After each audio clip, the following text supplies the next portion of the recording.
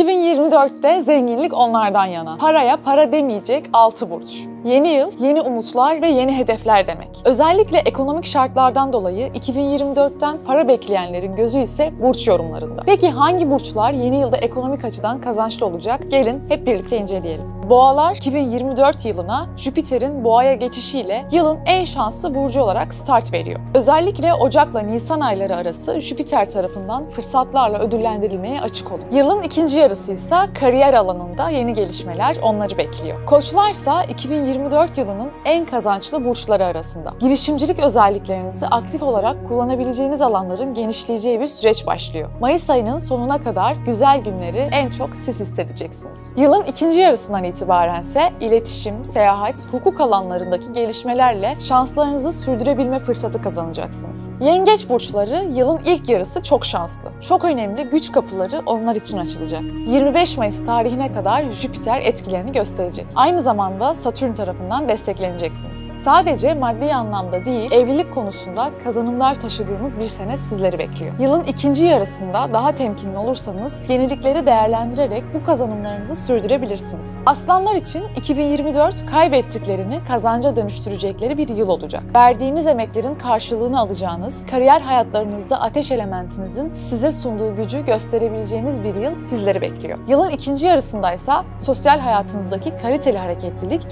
çevrenizi geliştirmekte etkin rol oynayacak ve kurnaz davranırsanız kazanımları değerlendirecek ve parlayacaksınız. 25 Mayıs'a kadar parayla ilgili konularda yeni gelişmeler terazilerle olacak. Fakat asıl sürprizler 25 Mayıs'ta başlayacak. Jüpiter'in etkisiyle ticari zekanızı değerlendirme fırsatı bulacaksınız. Ek olarak eğitim, kariyer anlamında kendinizi geliştireceğiniz, çevrenize ve ailenize kanıtlayacağınız bu kazanımlarla vizyonunuzun zenginleşeceğini hissedeceğiniz güçlü bir döngüye giriyorsunuz. Oğlak burçları yılın ilk ayında cesur kararlar almaları halinde maddi anlamda olumlu bir sürecin kapılarını açacak. Ayrıca mal mülk konularında yapacağınız alım satım işleri pozitif anlamda sonuçlanabilir. Kalıcı zenginlikler sağlayabileceğiniz ve beklediğiniz hukuki işlerin çözüme kavuştuğu bir yıl sizleri bekliyor. Mavi Kadın.com içeriklerini sosyal medya hesapları üzerinden takip etmeyi unutmayın.